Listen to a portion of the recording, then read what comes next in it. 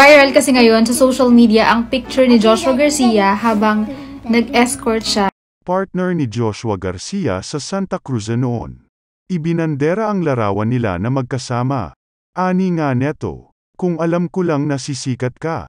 Sana pala sumagala na tayo simula Batangas City hanggang Mabini.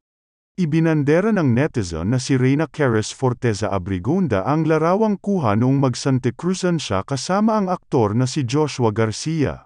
Siya kasi ang naging muse sa Santa Cruzan habang ang aktor naman ang kanyang escort na during that time ay hindi pa pinapasok ang mundo ng showbiz.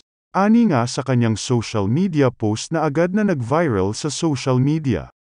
Kung alam ko lang na sisikat ka, sana pala sumagala na tayo simula Batangas City hanggang Mabini, caption ni Reyna sa larawan nila ni Joshua. Agad namang nagtrending ang larawan ng dalawa sa social media. Pagbabahagi ni Reyna sa kanyang interview. Iyon raw ang una at huling pagkikita nila ni Joshua.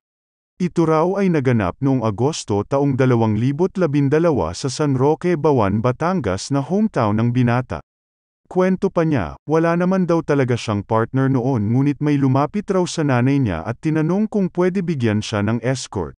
Ani nga ni Reyna, di ko lang po in-expect na ang pogi po pala ng kapartner ko at si Joshua Garcia po yun. Dagdag pa niya, head turner na po talaga siya noon. Malakas po talaga appeal niya kahit dati pa. Bagamat maikli lang raw ang pagsasama nila at hindi na naulit pa, Tandang-tanda pa niya ang mabuting pagtrato sa kanya ni Joshua. Ani nga ni Reyna, masayang masaya po ako na naging escort ko siya sa Sagala bago siya sumikat ng sobra. At hindi lang came basta naglakad, napaypayan niya pa ako. Mensahe naman niya sa binata, Hi, Joshua. Sana tanda mo pa ako. Sana masaya ka sa mga naging desisyon at narating mo sa buhay. I hope magkaroon ka pa ng maraming projects. Nandito lang kaming mga supporters mo para sa iyo palagi.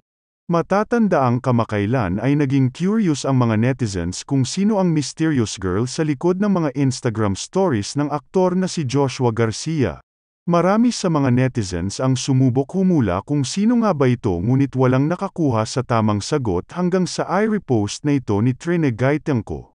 Para sa mga hindi aware, si Trina ay parte ng Ateneo Women's Basketball Team at isa rin sa mga malalapit na kaibigan ng box office queen na si Catherine Bernardo. Mas umigting naman ang pagiging marites ng mga netizens matapos mag-post si Trina ng mga larawan sa kanyang Instagram kasama ang mga kaibigan.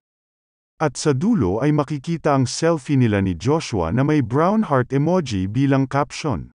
Nang i-check namin ang comment section sa naturang post ay napakarami ang kinikilig sa dalawa.